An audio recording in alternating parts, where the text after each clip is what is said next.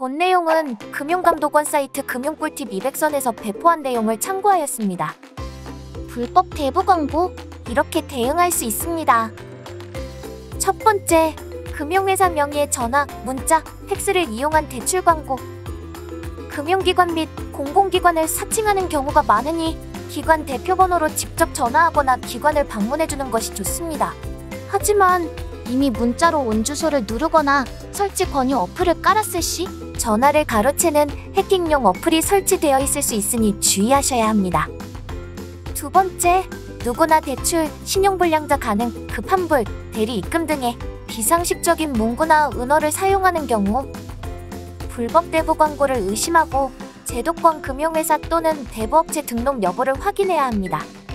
세 번째, 법정 최고 이자율 24%를 초과하는 경우 실제 손이자, 수수료 등을 부과하여 이자율을 초과하는 경우가 있으니 초과 지급된 이자는 원금 충당 또는 반환 요구가 가능합니다. 네 번째, 미등록 대부업체로부터 대출 피해 불법 채권 추심에 시달리는 경우 금융감독원 홈페이지 신청을 통해 무료 변호사의 도움을 받을 수 있습니다. 마지막으로 불법 대부 광고를 발견한 경우 금융감독원, 지자체 경찰, 한국인터넷진흥원 등에 신고하여 피해 확산을 줄여주세요. 이번에는 불법 대부 광고 대응 방법에 대해 알려드렸는데요.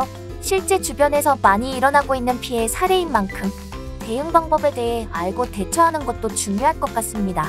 여기까지 한눈에 보는 금융 꿀팁이었습니다.